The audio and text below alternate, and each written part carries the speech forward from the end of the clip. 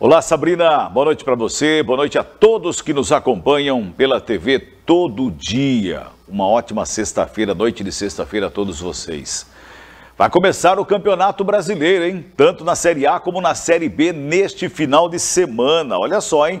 Com clássicos já no Campeonato Brasileiro que é conhecidíssimos, história do futebol, tudo isso em campo a partir deste final de semana. Serão 38 rodadas é, em cada série do campeonato, tanto na Série A como na Série B. 38 rodadas em cada um e vai até lá na primeira semana de dezembro, se tudo correr bem. Na primeira semana de dezembro é quando vai terminar os campeonatos das séries A e B. A Série A tem início amanhã. E logo nesse primeiro dia, amanhã, portanto, logo no primeiro dia de disputa da Série A do Campeonato Brasileiro, são sete jogos em disputas. Vamos conferir. Olha só, no sábado, amanhã, portanto, quarto da tarde, tem Palmeiras e Cuiabá. América e Fluminense, às 18h30, Botafogo e São Paulo, mesmo horário para Bragantino e Bahia e Fortaleza Internacional, além do Atlético Paranaense e Goiás. E às 9 da noite deste sábado, Atlético Mineiro e Vasco da Gama se enfrentam no Mineirão. Aí no domingo tem mais três jogos para fechar essa rodada da Série A do Campeonato Brasileiro. Dá só uma olhadinha aí, ó. Quatro da tarde tem dois clássicos, em Flamengo e Coritiba.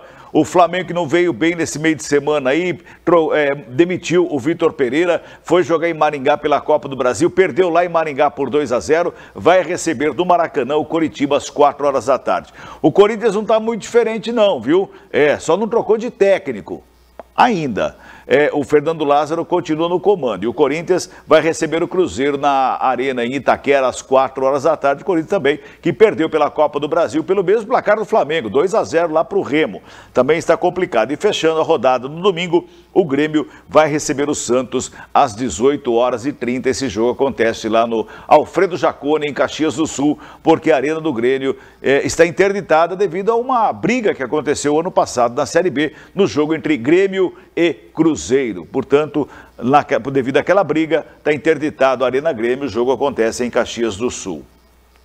Na segunda-feira a gente vai trazer aqui para você todos os detalhes, informações, tudo que aconteceu no final de semana da Série A, a gente vai trazer para você aqui dentro do Todo Dia News. Já a Série B começa hoje. Se a Série A começa amanhã, a Série B começa hoje, daqui a pouquinho, portanto, hein? Sete horas da noite já tem jogo, inclusive com um time aqui da nossa região, que é o Guarani. O Guarani do Brinco de Ouro da Princesa vai receber a equipe do Havaí. O Bugre teve muitas mudanças em relação ao Campeonato Paulista. Muitos jogadores saíram e muitos jogadores estão chegando ainda no Bugre de Campinas. Um dos principais nomes que chegam para essa, esse campeonato brasileiro é Regis, que em 2021 defendeu a, a, camisa do Guarani na Série B do Campeonato Brasileiro e dos últimos anos foi a melhor campanha do Guarani, terminou em quinto lugar por dois pontos, não obteve a quarta colocação e o acesso à Série A do Campeonato Brasileiro. E agora ele volta, o Regis volta a vestir a camisa do Guarani e ele está cheio de expectativa. O carinho da torcida, isso me deixa muito feliz, né? De estar voltando para um lugar onde eu fui muito feliz e espero dar continuidade né, nesse trabalho junto com meus companheiros. Chego para somar, né? A gente sabe que vai ser um ano bem competitivo é... e depende só da gente para fazer um grande trabalho, todo mundo no mesmo barco, no mesma, na mesma linha trabalhando para que a gente possa corresponder às expectativas. E quanto à, à negociação, igual você disse, cara, eu nunca é, deixei de falar o meu desejo de voltar. Isso daí foi sempre claro. Minha família, as pessoas mais importantes sabem, né? A gente fica chateado da forma que foi conduzida da, a negociação pela parte do Curitiba, né? As pessoas sabem. E, mas estou feliz de ser passado.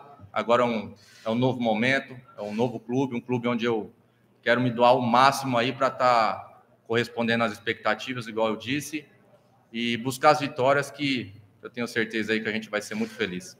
Estou pronto, se o professor precisar, independente se for começar ou entrando no decorrer do jogo, eu vou estar preparado. Tenho trabalhado esses três dias que eu, que eu estive aqui e no que ele precisar, ele pode contar comigo. Não, cara, me senti muito bem lá no Curitiba. É um grande clube, né? Tem uma torcida muito apaixonada. Eu falei da, da forma que foi conduzida a negociação com a minha pessoa, entendeu? Quanto ao clube, eu não tenho nada para dizer. Fui muito feliz lá, né? Sou grato por ter vestido aquela camisa, mas agora eu volto para minha casa, né? Um lugar onde eu me sinto bem, onde as pessoas me acolhem muito bem, né? Tenho carinho e minha família mora perto, então não tenho dúvida aí, igual eu disse, a gente fazendo um grande trabalho aí, a gente vai ser muito feliz. Só para a gente lembrar, a estreia do Regis pode acontecer hoje, como ele falou aí, e, e o Guarani estreia às 7 horas da noite. Com o Regis titular, ou pelo menos no banco de reservas, o Regis estará no brinco de ouro da princesa. Os outros jogos da Série B do Campeonato Brasileiro são os seguintes, ó. Além de Guarani, às 7 da noite contra o Havaí, às 9 e meia da noite, hoje tem Ituano e Ceará. Amanhã tem às quatro da tarde o Vila Nova contra o Novo Horizontino. Às cinco da tarde o Mirassol recebe a Chapecoense. Às 5 da tarde também, o Sampaio Correia pega o Atlético de Goiás e às 18h15 de amanhã, fechando os jogos de sábado na Série B, o Juventude recebe o Botafogo de Ribeirão Preto. No domingo, fechando a Série B do Campeonato Brasileiro, tem às 11 da manhã, Criciúma e Tombense, primeira rodada, hein, gente? Não é fechando a Série B, fechando a primeira rodada. Às 3 e meia da tarde, Londrina e ABC se enfrentam e às 18 horas, outro time da região em campo, a Ponte Ponte Preta vai até Salvador enfrentar a equipe do Vitória no Barradão. CRB e Sport, que estão na disputa da Copa do Nordeste, não jogam é, nesta primeira rodada, portanto, o jogo entre CRB e Sport ficou a ser definido aí, data e horário para o jogo dessas duas equipes na estreia da Série B, dessa primeira rodada da Série B do Campeonato Brasileiro. Então tem muito futebol esse final de semana aí, hein? Séries A e B que começam a disputa, primeira rodada de ambas nesse final de semana e segunda-feira nós vamos trazer tudo aqui dentro do Todo Dia News. Amanhã, gente, acontece em Hortolândia a Copa Hortolândia de Judô. Falamos durante a semana, inclusive o Gleger Zorzin, é, ex-goleiro, que é o secretário de esportes lá de Hortolândia, fez o convite aqui dentro do programa com a gente, não é? Então acontece amanhã essa Copa Hortolândia de Judô, tem o apoio da Prefeitura e também da Federação Paulista de Judô, e o evento vai acontecer lá no Centro de Especialidades em Artes Marciais Eliel Gomes, que fica na Vila Real. Vão participar desse evento judocas de diversas categorias a partir de 7 anos de idade, de várias cidades do estado de São Paulo. O convite está feito, então você, judoca da região, quer conferir? É lá em Hortolândia, repetindo, no Centro de Especialidades em Artes Marciais, o Eliel Gomes, que fica lá na Vila Real, em Hortolândia.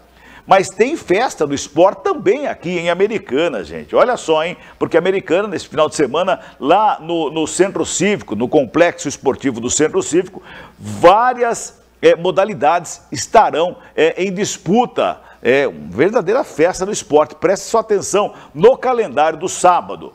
A partir das 8 horas da manhã, lá no Centro Cívico, vai ter o futebol é, de base, é, o basquete, que é o primeiro festival de basquete feminino, natação, torneio regional pré-mirim é, e tênis de mesa, jogos da juventude, a partir das 8 da manhã.